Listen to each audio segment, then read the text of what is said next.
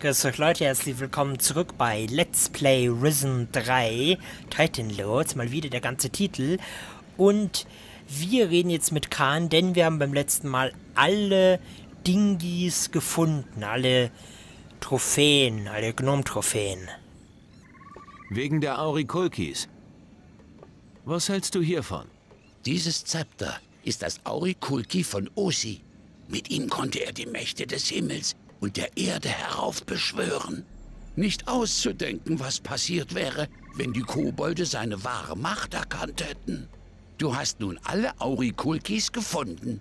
Ich werde sie reinigen und bald wieder an ihren angedachten Ort bringen. Nimm dies als Dank für deinen großen Dienst.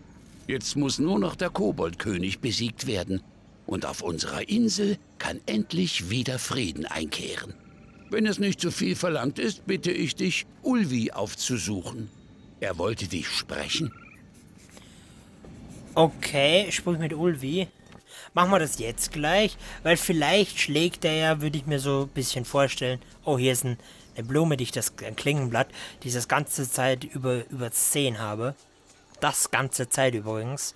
Ich fange schon so an zu sprechen und zu denken wie die Gno hier.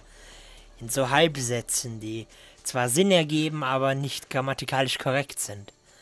So, Ulvi, was möchtest du denn mit mir bereden? Willst du deine Hilfe für den Koboldkönigkampf anbieten? Hack du, Homie? Du hast Khan gebracht. Alle Aurikulkis. Er ist sicher stolz auf dich. Ich hoffe es. Nicht der Rede wert. Wenn Homie nix kann reden, brauchen Zähne. Ulvi schenken dir Zähne. Das ist ja... klasse. Homie gut, Klopper. Aber Kobolde weitere Lager auf Insel. Ulvi Smiller, wenn Homie helfen. Ich kümmere mich um die restlichen Koboldlager. Famo, hier nehmen Fackel und brennen alles nieder.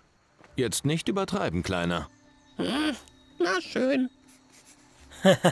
Koboldplage, ja. Hier nehmen Fackel und Wir brennen müssen alles uns nieder. trennen, wenn du weitergehen willst. Alter, jetzt ernsthaft? Oh Gott. Oh, ist ein Alligator.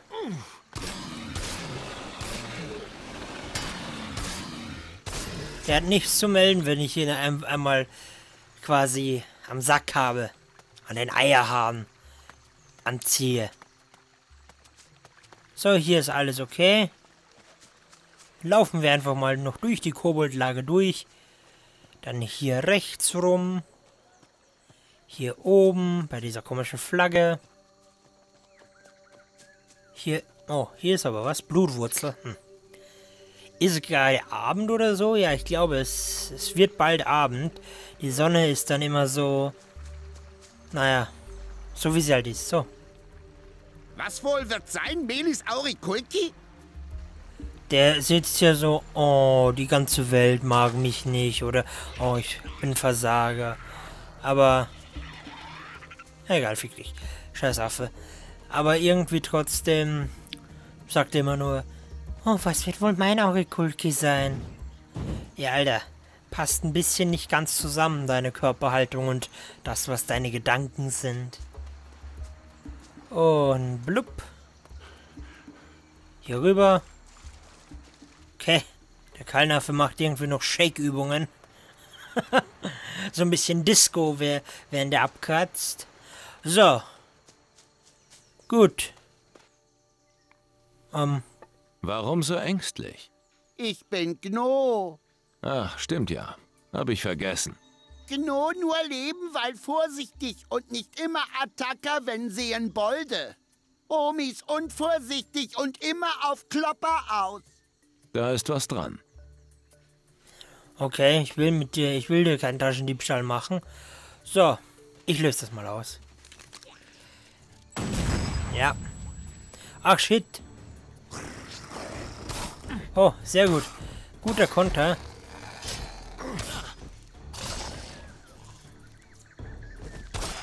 Wunderbar. Ha, perfekt. Diese Konter sind echt wunderbar. Oh, hier ist es wird wahrscheinlich die Höhle. Ah, das ist dieselbe Höhle von der anderen Seite. So, dann würde ich sagen, aufs Maul, Kobolde. ihr Wichser.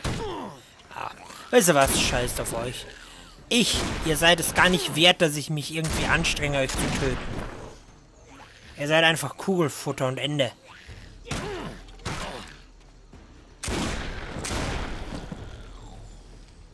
Und Ende. 13 von 14. Wo ist der letzte? Oh. Ach nee, das war's schon, okay. Der, ich habe die so schnell getötet, dass der gar nicht zum korrekten Updaten kam. Das ist super, aber es ist schon ein bisschen fies, dass die hier so Gnom-Dinger haben, so Gnom-Zielscheiben.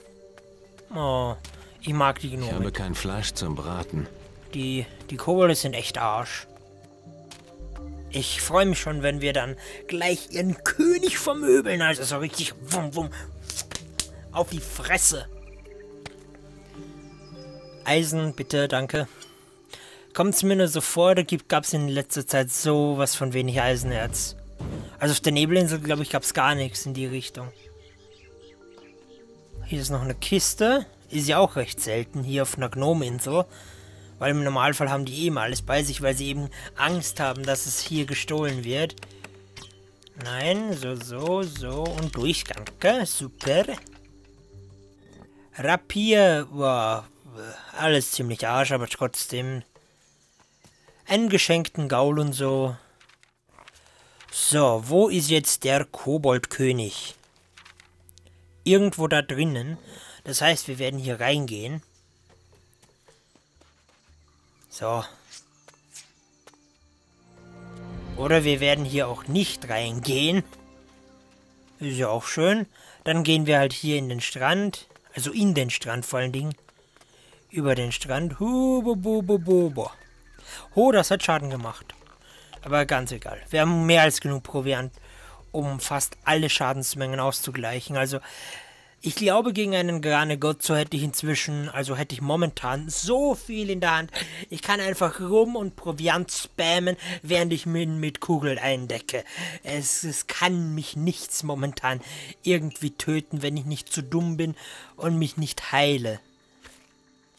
Also außer durch Dummheit kann ich momentan echt nicht sterben. Also zumindest nicht aus Proviantmangel. Ja, kämpfe! Ach so. Ich dachte gerade, wer bist du? Warum greifst du mich an? Okay, wer bist denn du? Gabu. Ein Homie?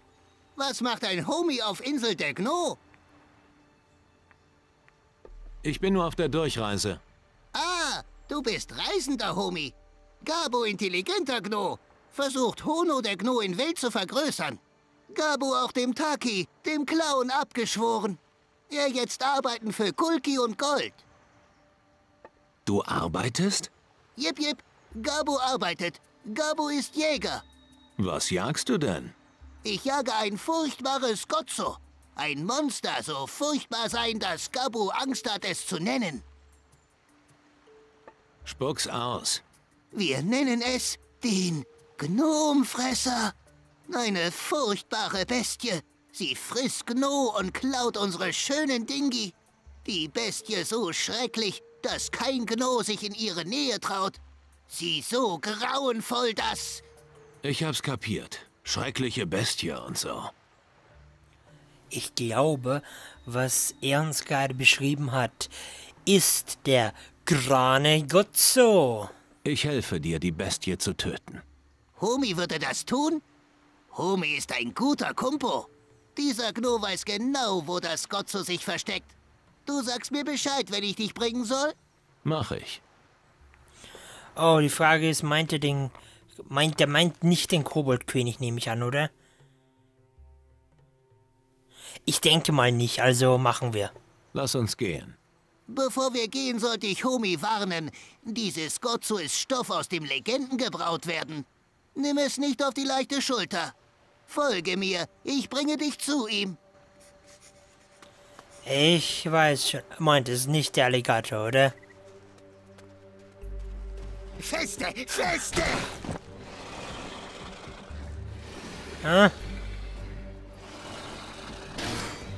Nix aufhören! Weiter so! Aufs Maul! Auf den überdimensional großes Maul! Ach, leck mich. Ach, leck mich, scheiß Krabbe. Ganz ehrlich.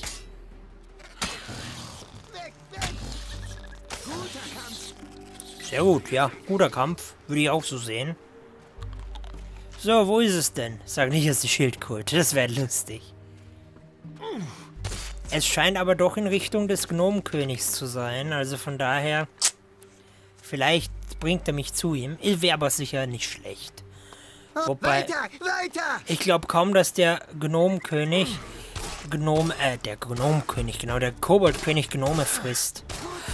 Wobei vielleicht sehen die Kobolde den Grane Gott als ihren König an. Mehr, mehr! Das wäre natürlich auch möglich. Oder vielleicht ist ein Leviathan, weil wir hier so nah bei, beim Wasser sind. Es könnte der Leviathan sein. Würde mich nicht wirklich wundern. So, ich schalte euch mal aus. Feste, feste!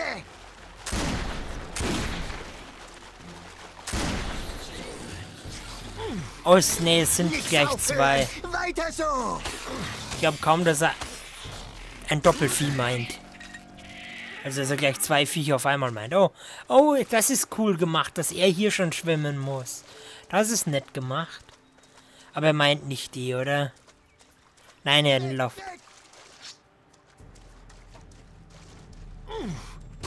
Was doch, Gnomfresser. Doch, er meint den.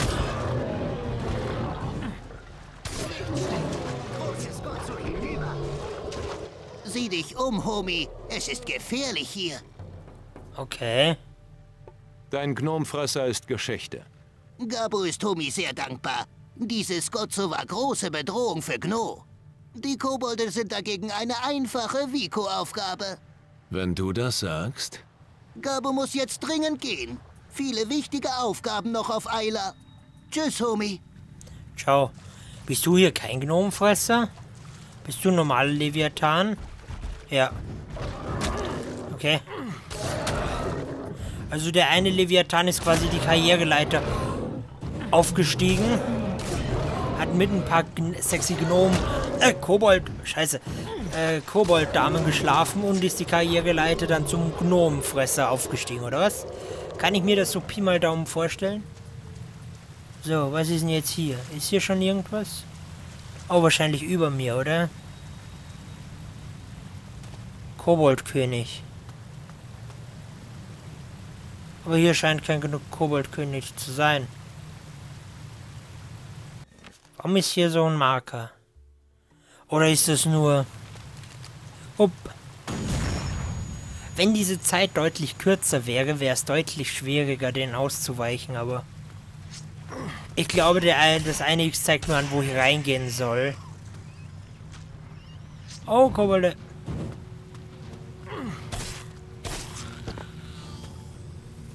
Die aber hier nicht angezeigt werden, also nicht aufgelistet. Mit Zahlen. Ah. Upp, komm. Alter. Drecksarsch, Vieh. Stirb, danke. Da hinten... Wobei, da könnte das eine sein, wo ich nicht hin... Oh nein.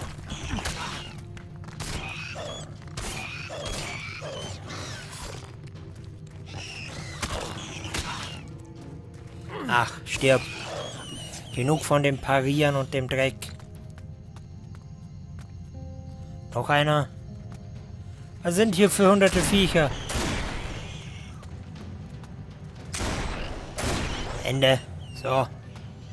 Ist keine Lust, da irgendwelche hunderttausend Sachen zu machen. Ohne Blutkappe, das ist, glaube ich, sogar was, was ich direkt in meine Werte, genau, das direkt, es ist zwar Geist und damit das, was ich eigentlich mit am wenigsten oder sogar wirklich am wenigsten brauchen kann. Wie viel Geist habe ich denn allein schon? Ich habe das nie geskillt und habe 25. Der Anfangswert ist, glaube ich, 10.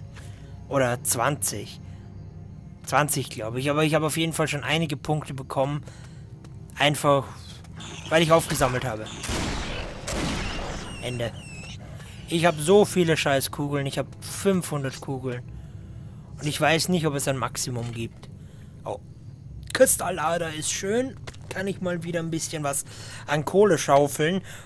Eigentlich Kohle Spitzhacken. das war dumm. Ich weiß schon. Magische Kristalle ist schön. Hier sonst nix. Dann auf zu dem Gnom. Äh, Koboldfresser. Äh, nein. Koboldkönig. Viel zu viele Namen.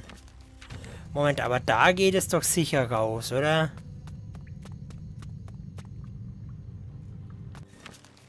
Oder auch nicht? Ist das hier nur ein anderer Weg? Es ist nur ein anderer Weg in das Koboldlager, genau. Hier kann ich ja wahllos morden. Hier gibt es ja keine Aurikulkis. Halt!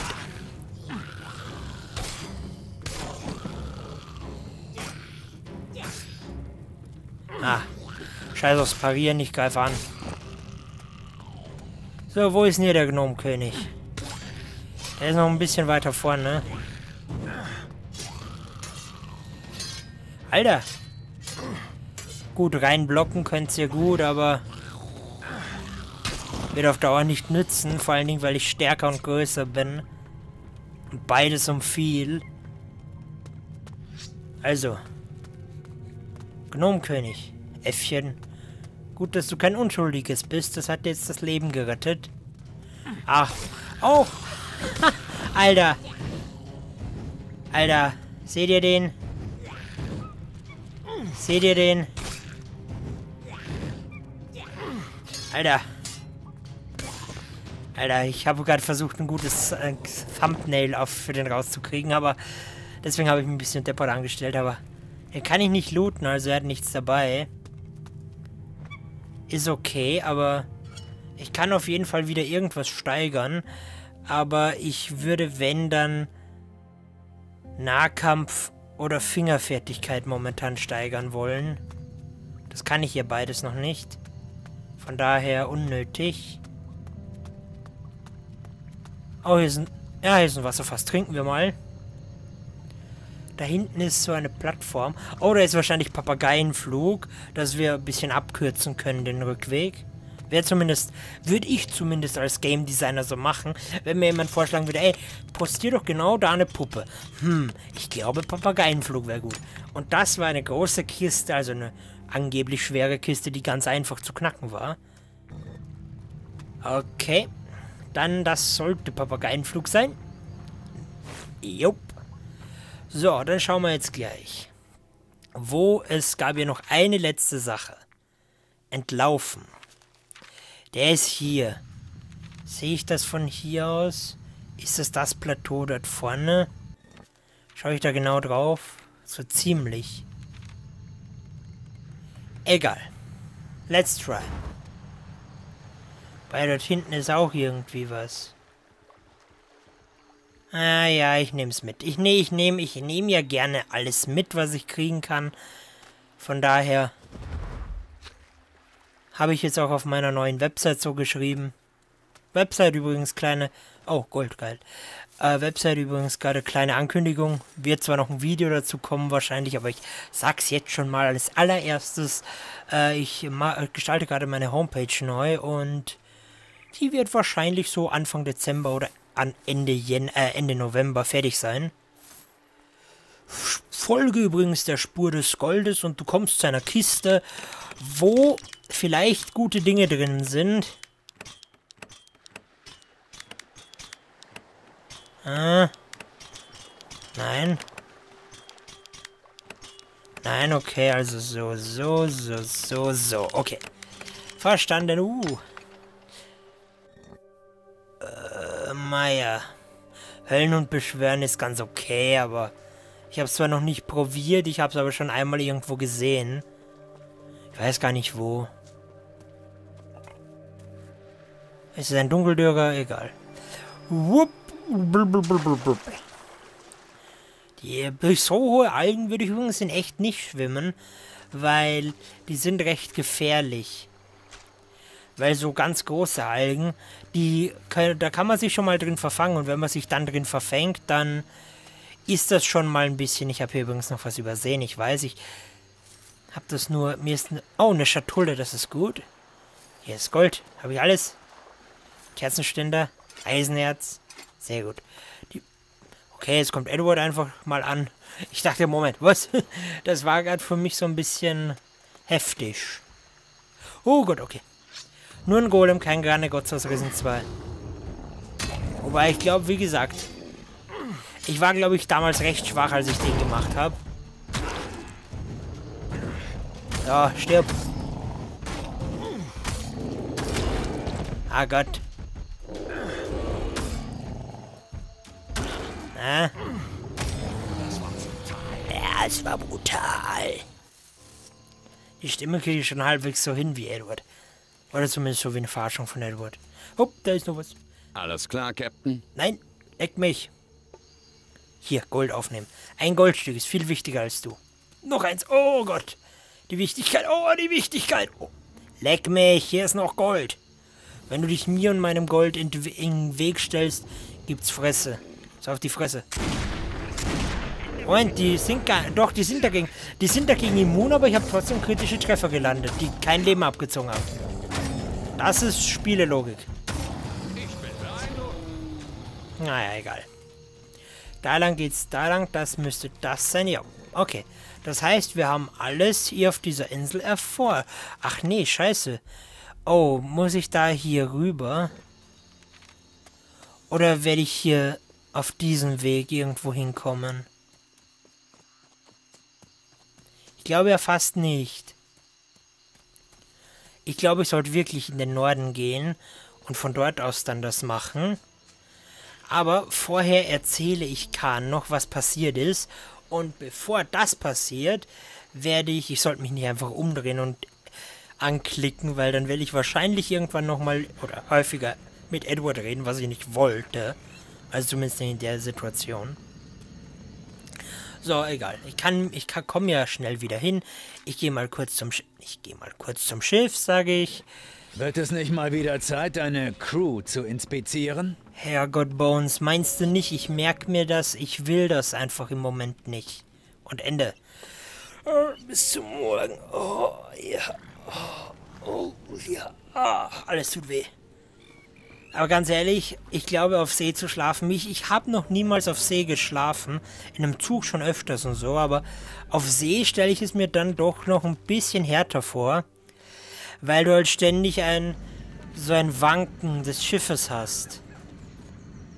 Das kann zwar recht beruhigend sein, nicht umsonst mögen Babys in der Wiege, wenn sie geschaukelt werden, aber ich stelle es mir jetzt zum Kotzen vor. So, Khan. Alles ist erledigt. Wo fangen wir denn an? Die Kobolde aus den Vorposten wurden vertrieben. Verstehe. Reiche Beute für den schwarzen Schatten. Ich hoffe, er ist nun satt. Es macht mich traurig, so viel Tod auf meiner Insel zu sehen. Es gab keine andere Möglichkeit. Ich weiß. Du hast getan, was getan werden musste. Hier, es soll dir Glück bringen. Sehr gut, danke. Der Anführer der Kobolde ist tot. Sie hatten also tatsächlich jemanden, der ihnen den Weg gewiesen hat. Sakomi, wie hat er ausgesehen? Ähm, äh, wie ein Kobold, nur dicker. wie eine dicke, fette Made. Ja, eigentlich wie so wenn du ein Kobold so ein seltsam altmodisches Bürgermeisterkostüm angezogen hättest. Ich glaube, das untere ist weniger. Ich weiß nicht, ob ich dadurch Seelenpunkte verliere, aber prinzipiell stimmt das untere. Wie ein Kobold, nur dicker. Er scheint ihnen jedenfalls eine gehörige Angst eingejagt zu haben. Andernfalls hätten sie wohl nicht so gewütet. Die Hauptsache ist, er ist platt. Du meinst tot? Ja, von mir aus auch das. Danke, Homi.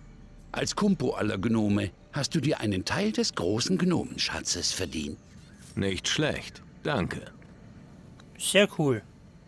Die Insel ist wieder sicher. Die Kobolde stellen keine Bedrohung mehr dar. Was macht dich so sicher? Ohne den Koboldkönig sind sie führungslos und von den Vorposten geht keine Gefahr mehr aus. Und ohne die Macht der Aurikulkis können sie sich auch nicht mehr unserer Schamanen bedienen. Du sagst es.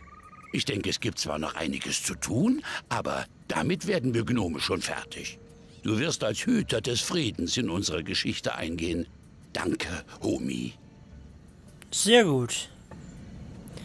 Dann würde ich sagen, ist das Letzte, was wir noch tun müssen, diesem einen Gnom hier zu helfen. Und das machen wir, indem wir einfach nochmal den Weg Richtung Ulvi gehen. Haben wir eigentlich wirklich auf dieser Insel nur zwei Teleporter? Tatsache. Kommt mir ein bisschen wenig vor. Wobei, vielleicht ist hier im Norden noch einer. Hm? Oder hier ist zumindest eine Maki-Bäre und ein paar Affen. Scheiß Affen! Hasse Affen. Oh, nein, ich hasse das. Nein, holy shit, nein, nein, nein. Oh, Bobo. Oh nein, was? Ich bin so dumm, ich bin so dumm, ich bin so... So, stirb, danke. Oh, Bobo. Ganz ehrlich, ich wäre fast runtergesegelt. Und von da unten wäre es ein langer Weg hoch gewesen. Also wirklich, der Weg nach unten würde mich nicht töten, aber es wäre halt arschig, wieder hochzukommen. So, ich habe ein bisschen was dabei. Hab schon wieder 260 Proviant. Wie gesagt, im Laufe der Folgen kriegen wir immer tendenziell mehr Proviant als weniger. Was cool ist, aber auch ein bisschen seltsam. Da unten... Ah, ich gehe erstmal da lang. Ja, da oben müsste der jetzt irgendwo sein. Okay. Der Vogel hatte keine Bedeutung. Außer, dass er einen Vogel hatte. Pilz ist sehr gut. Was ist denn hier schon wieder für ein Höhlensystem? Äh, äh, gut, normales Äffchen. Uh, apropos Äffchen. Hä? Hä? Okay. Hallo? Hey, Backpfeifengesicht. Wer, ich? Frag nicht so blöd. Mir passt deine Visage nicht. Also such dir einen anderen Platz zum Rasten. Der hier ist belegt. Wird jeder von dir so herzlich begrüßt? Nein, die anderen habe ich von der Klippe getreten. Zufrieden? Nö. Dann hör gut zu. Wer mir dumm kommt, bereut es ganz schnell wieder. Kapiert? Ja, ich hab kapiert, dass du ein Idiot bist. Okay, du willst also ein Tänzchen wagen. Verstehe. Zu schade um dein Gesicht. Aber mit der großen Fresse macht man sich keine Freunde. Niemand muss hier sterben. Ach was. Erst die Fresse aufreißen und dann einen Rückzieher machen. Naja, bist dann wohl doch nicht so bescheuert, wie ich dachte. Für heute hast du den Kopf nochmal aus der Schlinge ziehen können. Eher umgekehrt. Warum bist du hier? Wegen den kleinen Scheißern, die hier rumrennen. Das heißt? Na was wohl? Kies, Knete, Zaster. Sklaven sind sehr gefragt. Wenn du willst, verkaufe ich dir einen. 500 Goldstücke. Wegen des Sklaven. Dovi Freikauf. Uh. Ich kaufe ihn dir nicht ab, du kleiner mieser Wichser. Wie kann man nur so tief sinken? Jetzt mach hier mal keinen auf Moralapostel. Wir müssen alle sehen, wo wir bleiben. Wenn du nichts gelernt hast, dann hast du keine große Auswahl. Es gibt immer eine Wahl. Ja, du hast leicht reden. Dir hat man doch sicher von klein auf den Arsch gepudert. Mir wurde nie etwas geschenkt. Also erzähl mir nichts. Und mit der Begründung ist es richtig, anderen alles zu nehmen? Nein, aber es lebt sich leichter mit Gold in den Taschen als ohne. Das müsste sogar jemand wie du verstehen. Das wird nicht mehr gehen. Ich bin noch nicht gut genug. Also fuck off. Vergiss es einfach. Werde ich auch. Hauptsache, du vergisst nicht, dass ich 500 Goldstücke für den Kleinen haben will. Kannst du schon mal Wegen des Sklaven. der schönen Arschram. Lass ihn frei oder du wirst es bereuen. Ach, Warum riskierst du dein Leben für so einen Furz? Lass das mal meine Sorge sein. Normalerweise würde ich dich jetzt einen Kopf kürzer machen, aber... hm, Ich denke, es gibt dann noch einen Weg, wie wir uns einigen können. Du bekommst von mir 200 Goldstücke und vergisst, was du hier gesehen hast. Deal?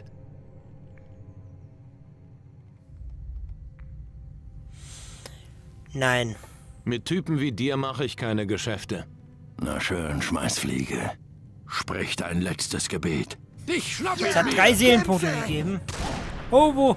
Achso, ich dachte, er wäre hinter mir.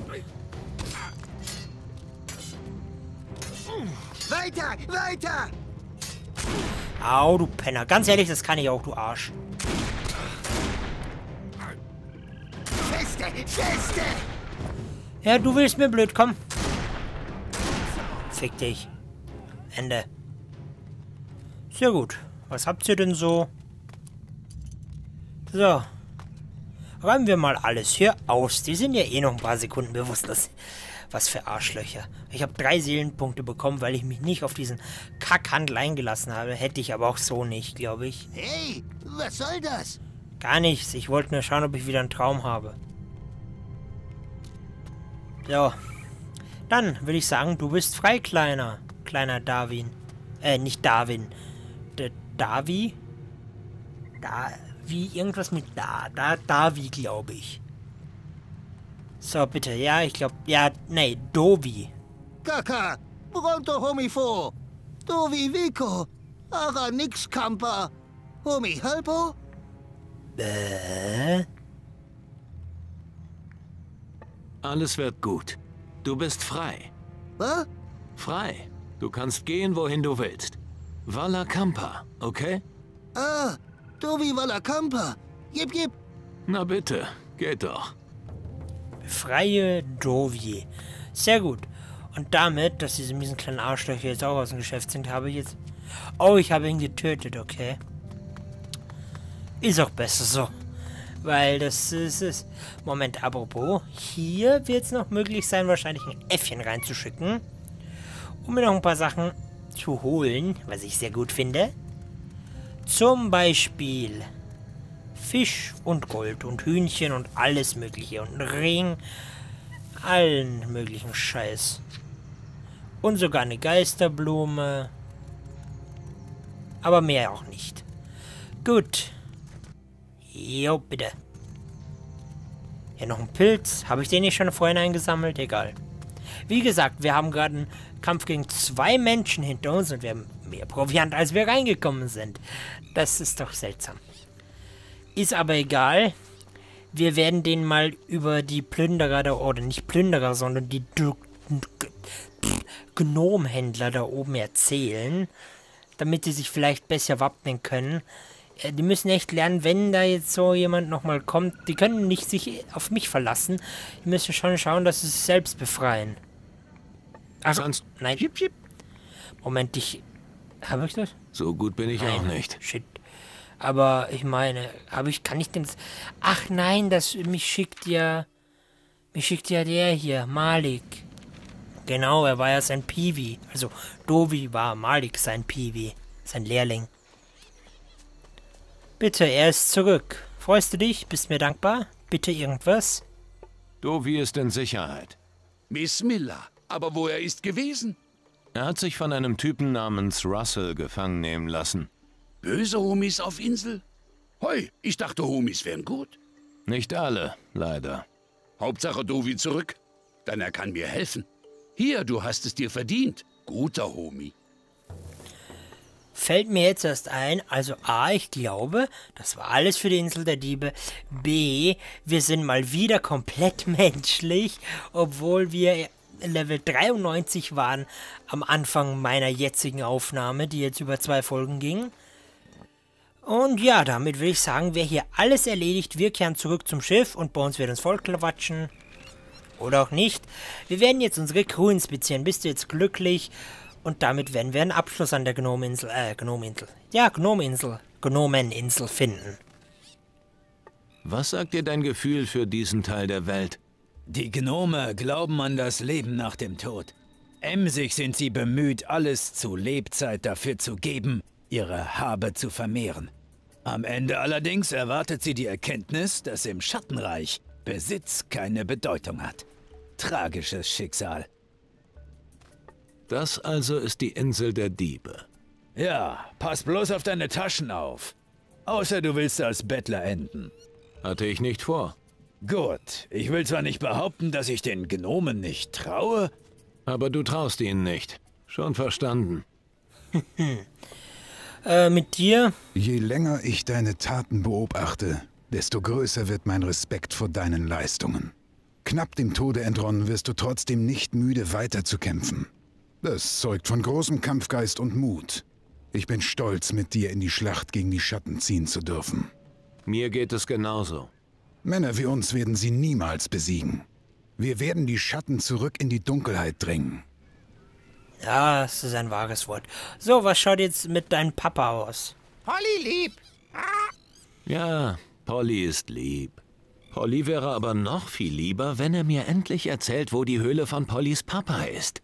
Strand, ah, Höhle, Mangroven, ah, Südosten, ah, Tacarigua. Oh, cool. Okay, noch einmal langsam. Irgendwo auf Tacarigua gibt es eine Höhle. Am Südoststrand der Insel irgendwo, ja? Höhle Krach, Höhle zu. Okay, also eine eingestürzte Höhle. Und da drin ist dein Papa, ja? ah, Pollys Papa braucht Hilfe. Ah, Na schön. Dann werde ich deine eingestürzte Höhle suchen. Wehe, wenn du mich veräppelst. Polly lieb. Wer ist Pollys Papa? Ich frage mich echt, meint er einen Vogel oder meint er seinen ehemaligen Besitzer? Hey, Anmerkungen zur aktuellen Lage? schon knuffig, diese Gnome. Allerdings muss man in ihrer Gegenwart höllisch auf sein Gold achten. Einmal nicht aufgepasst, schwupp ist alles weg. Gut, dann sind es hier noch zwei, die wir befragen können. Kapitän? Einmal Horas. Was denkst du über diesen Ort? Die Jungs hier machen es richtig. Die Gnome nehmen den ganzen Quatsch da draußen nicht so ernst. Naja, sie haben ja auch genug eigene Probleme. Mag sein, aber selbst wenn es ihnen besser gehen würde, glaubst du, dass sich je ein Gnome gefragt hat, welche Macht wohl morgen die Weltherrschaft übernimmt? Ich glaube eher nicht. Nein. Wenn man genauer darüber nachdenkt. Und? Was sagst du zu dieser Gegend? Die Gnome sind Diebe. Doch das ist noch kein Grund, sie sterben zu lassen. Völkermord hat sich noch nie ausgezahlt. Wir müssen ihnen helfen, ihre Welt zu retten. Die Ringe oder diese Risse, diese Adern um, um, um Edwards Augen werden immer und immer schlimmer. Ich hoffe inständig, dass er nicht am Ende abkratzt, weil er ist. Er, Patty und Bones sind so, also auf Horus und den Gnom da, dessen Namen ich nicht einmal mehr weiß, könnte ich fast verzichten, aber die drei sind so ziemlich meine liebsten Leute und auf Sedek. Also Sedek, Horus, den Gnom und den komischen Captain. Hm, ist mir ziemlich egal. Captain? Also relativ. Und nein, das meine ich nicht rassistisch, weil zwei davon keine weißhäutigen Menschen sind. Ich meine es nicht rassistisch. Schon etwas Besonderes hier gesehen? Ernsthaft. Die Gnome haben viel Kraft, aber sie verschwenden sie. Das Graben nach Schätzen hat sie verrückt gemacht über die Jahre. Aus ihnen werden niemals gute Krieger werden. Okay, das ist mal. Komm Nein. mit. Nein. Okay. Gut. Dann jetzt hier noch Jafar als letztes. Jaffa ist etwas verwirrt. Wohin genau geht die Reise? Ein Teil von mir ist im Schattenreich. Tja, und nun suche ich überall nach Hilfe. Ah, ist so etwas wie die Suche der Gnome nach Aurikulki. Jeder Gnome muss einmal in seinem Leben diesen einen Gegenstand für sich finden. Eine große Reise, die erst zu Ende, wenn wir das eine Dingi gefunden haben. Jaffa versteht jetzt besser. Danke, Homie. Ach ja, hier ist etwas Gold für meinen Captain mit guter Seele. Ich frage mich, weil wir jetzt 100, äh, also wenn wir jetzt voll menschlich sind, 100 Seelenpunkte haben, ob die Menge, weil der das gerade so gesagt hat, ob die Menge an Gold, die er uns gibt, abhängig ist von dem, wie menschlich wir sind. Wäre cool. Da alles blauer Ozean. Wäre aber auch cool, wenn man da in der Distanz irgendwie noch eine Insel ausmachen könnte. Egal. Äh, Nächstes Mal geht's dann zum einen nach Tacarigua wegen Pollys Papa und zum anderen nach Kieler, weil auf Kieler ist dann das allerletzte, was wir uns holen können, und zwar an Hilfe, und zwar diese eine, wie heißt die nochmal? Sekunde. Hier, Kieler. Nein. Geisterritual, genau. Chani, genau. Und der, wo ist dieser richtige Ort nochmal? Weiß das auch jemand? Der ist auch auf Kieler, okay. Also nächstes Mal dann Takariga und Kieler. Und bis dahin sage ich bis zum nächsten Mal bei Let's Play Risen 3. Bis dahin, tschüss Leute.